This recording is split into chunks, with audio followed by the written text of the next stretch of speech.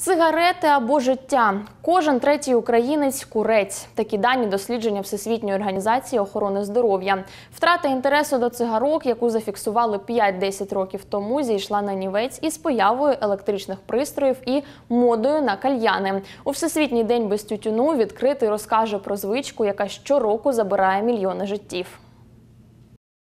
Один вдих і проблем як не було. Так про звичку до паління розказують його прихильники. Мовляв, цигарки не тільки заспокоюють, але й допомагають зосередитись чи зняти напруження. А от лікарі в такому заспокійливому бачать сумну статистику, адже щорічно у світі від невидимого вбивці вмирають майже 8 мільйонів людей. І частіше за все до цигарки підштовхує оточення.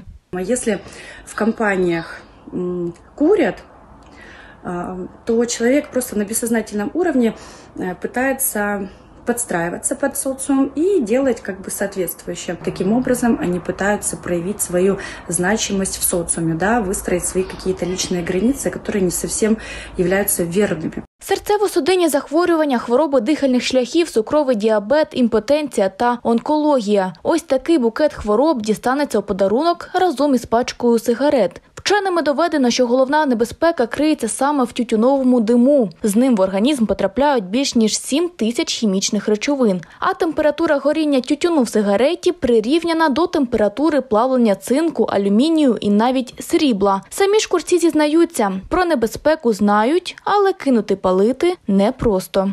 Начинал курить я в школе, как, наверное, и все. Было это в время модно.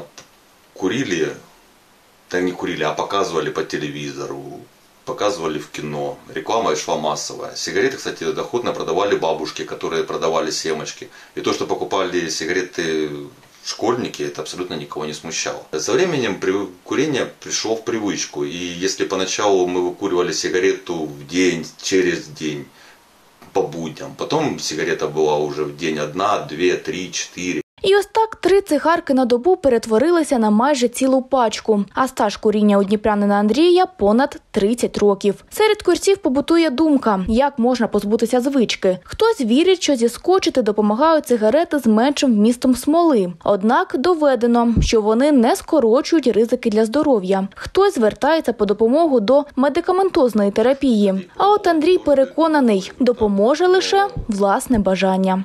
Процесс бросания курить, он в принципе не так страшен. Страшно опять снова таки не закурить, чтобы не нашелся какой-то фактор, который сподвигнет вас опять взять сигарету и получить то же самое удовольствие. На сегодняшний момент э, утро происходит довольно-таки, оно стало добрым, уже нет утреннего кашля совсем. Очень сильно изменилось восприятие запахов, очень сильно изменилось восприятие вкусов.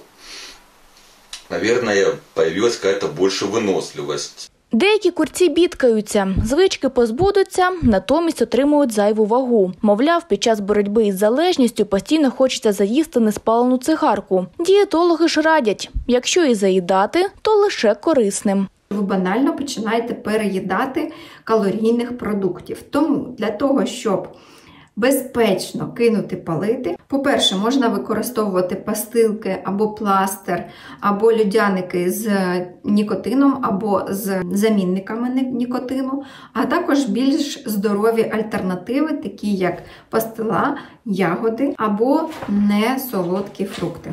Не зупиняють курців і ціни, а вони з кожним роком кусаються все більше. Відтак, за статистикою в Україні вартість цигарок щорічно зростає на майже 15%, а нинішня ціна однієї пачки від 40 до 80 гривень. Але куріння це ще й психологічна залежність, тому підвищення цін та попереджувальні написи на упаковках не допомагають. Бросить курить можно, если э, человеку задать какие-то, знаете, э, ограничивающие рамки, которые повлияют на его психику.